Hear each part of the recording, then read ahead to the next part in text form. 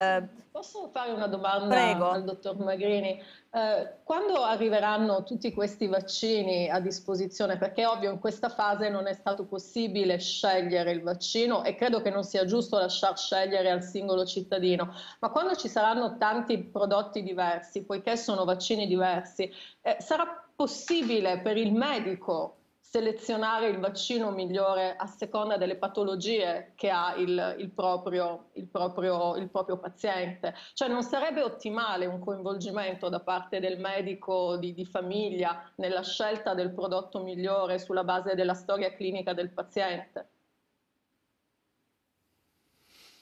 Ma certamente se sarà possibile identificare caratteristiche di pazienti che si possono meglio giovare dell'uno o dell'altro, lo si farà e lo faremo perché si è parte di una comunità di cui lei certamente è, è tra i top influencer per farlo e per discuterlo.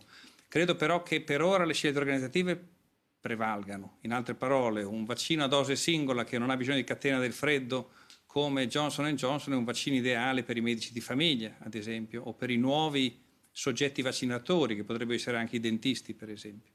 Eh, quando la sovrapposizione è ampia, si potrà anche vedere se organizzativamente parlando questo è un fattore, come dire, facilitante o se invece può diventare un impedimento anche organizzativo perché avere vaccini diversi programmati nella stessa sede per diverse popolazioni può essere anche complicato dal punto di vista logistico. Ecco. Però sarà parte della sfida gestire 6, 7, 8 vaccini anche contemporaneamente quest'estate. eh,